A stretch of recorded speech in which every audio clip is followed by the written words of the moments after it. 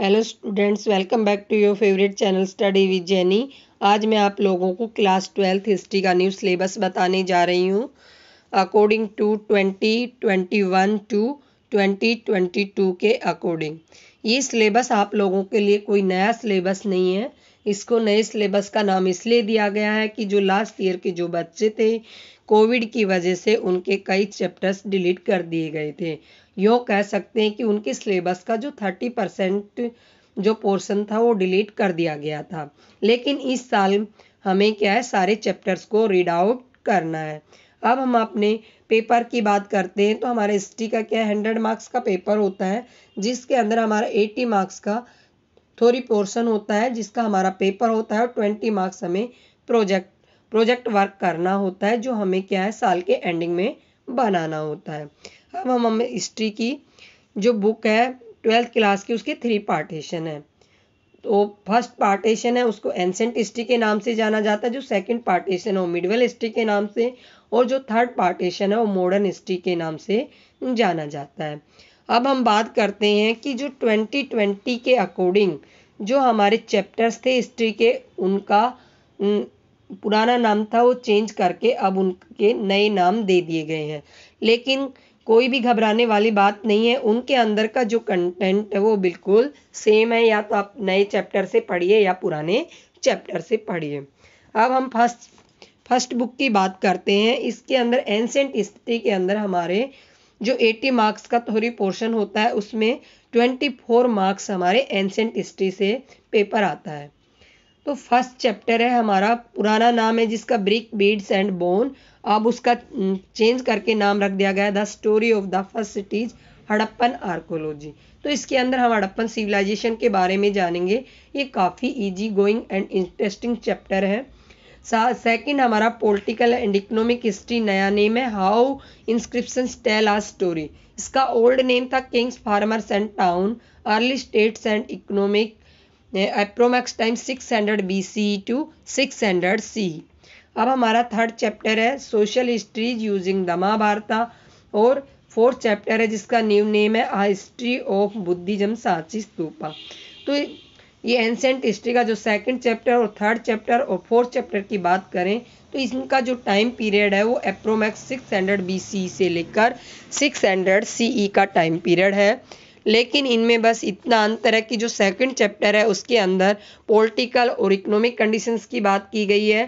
Third chapter के अंदर social जो सोशल समाज से रिलेटेड जो कंडीशंस थी, उनकी बात की गई है। और फोर्थ चैप्टर के अंदर कल्चरल डेवलपमेंट्स हुए, जो बिल्डिंग्स बनी, जो नए नए थिंकर्स आए, उन सब के बारे में हम रीड आउट करेंगे। तो ये जो चैप्टर्स हैं, क्या स्टूडेंट्स आप लोगों के लिए बहुत ही इजी गोइंग है और आप इनको अच्छे से रीड आउट करने के बाद 24 के मार्क 24 मार्क्स प्राप्त कर सकते हो। मेरे चैनल पर जा, जाकर आप वीडियोस को देख सकते हो। मेरा मेरे चैनल का नाम है स्टडी विद जेनी मैंने हर एक चैप्टर को क्या है, अपने चैनल के ऊपर एक से डेढ़ घंटे में ख़त्म कर दिया है और मेरे जो चैप्टर है, वो फुल्ली एक्सप्लेन्ड है। जिन लोगों ने चैप्टर्स को रीड आउट कर लिया है, उनके लिए तो ये वीडियो बहुत ही हेल्पफुल होने वाली है। लेकिन जिन लोगों ने एक भी बार चैप्टर्स को रीड आउट नहीं किया, यहाँ तक कि बुक को हाथ भी नहीं लगाया उनके लिए भी मेरी ये जो वीडियोज़ हैं फुल्ली एक्सप्लेन्ड है तो बहुत ज़्यादा हेल्पफुल होने वाली हैं। तो फ्रेंड्स एक बार आप जाकर मेरी वीडियोज़ को मेरे चैनल पर चेकआउट करें। आप लोगों को अच्छी लगे तो आप मुझे लाइक और सब्सक्राइब करें। अब हम सेकंड पोर्शन की बात कर लेते हैं बुक की। मिडवल हिस्ट्री मिडवल हिस्ट्री के अंदर हमारे फिफ्थ से लेकर जो नाइन्थ तक के चैप्टर्स हैं, वो आने वाले हैं। तो लास्ट ईयर क्या है, जो हमारा फिफ्थ चैप्टर था medieval society through travellers accounts इसको डिलीट कर दिया गया था, लेकिन इस सेशन में हमें इसको भी रीड आउट करना है।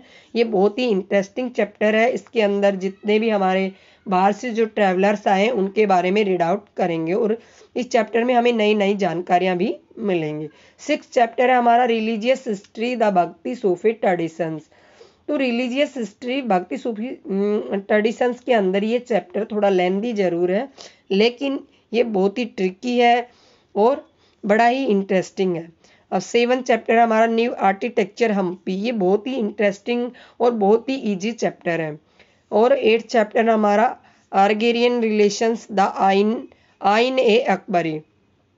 Last year इसको डिलीट कर दिया गया था, लेकिन इस साल हमें इस सारे चैप्टर्स को रीड आउट करना है। नाइन चैप्टर है हमारा the Mughal court reconstructing history through chronological तो मिडिवल हिस्ट्री की बात करें तो इसके अंदर जो हमारा पेपर कितने मार्क्स का पेपर आने वाला है? ट्वेंटी फाइव मार्क्स का पेपर आने वाला है। अब हम थर्ड पोर्शन की बात करते हैं मॉडर्न हिस्ट्री की। मॉडर्न हिस्ट्री के अंदर हमारे जो टेंथ चैप्टर से लेकर फिफ्टीन तक के जो चैप्टर्स रहने वाले हैं और इस पोर्शन के अंदर हमारे ट्वेंटी सिक्स मार्क्स के क्वेश्चन आंसर्स आने वाले हैं। तो इन चैप्टर्स को भी हमें बहुत अच्छे से रीड आउट करना है। और हमारे, हमारी बुक है, ये जो सबसे इजी पार्ट की बात करें तो एंशेंट जो हिस्ट्री का जो पोर्शन है, वो सबसे इजीएस्ट पोर्शन है। तो इस प्रकार से हम देख, हमने देखा कि जो हमारी हिस्ट्री थी, वो थ्री पार्टीशंस में डिवाइड थी और किस प्रकार से उनके जो मार्क्स था, उनका डिवाइडेशंस किया गया था। लेकिन हमारा लास्ट फाइनल जो मैप बच जाता है तो हमारे तीनों पोर्शन से फाइव मार्क्स के मैप आने वाले हैं। तो ये मैप मैप क्या है? मैप में कुछ भी नहीं करना है। मैप के अंदर कई बार तो हमें साइट्स दी गई होती हैं, उन पॉइंट आउट की गई होती हैं। उनको बताना होता है कि कौन सी साइट्स हैं और कई बार हमें खुद उन चीज़ों को पॉइंट आउट करना होता है। तो स्टूडेंट्स आपको मैप्स को बिल्कुल भी स्किप नहीं करना है। पाँच मार्क्स आप बड़ी आसानी से ला सकते हो। अगर आप मैप्स को तीन चार घंटे दे सक देने के बाद क्या है, आराम से आपको फाइव मार्क्स मिल सकते हैं। तो आप लोगों को मेरी वीडियो अच्छी लगी हो तो आप मुझे लाइक करें सब्सक्राइब करें, साथ ही कमेंट सेक्शन में कमेंट करके बताएँ कि मेरी वीडियो कैसी लगी। or thanks for watching my video. I will meet my next video.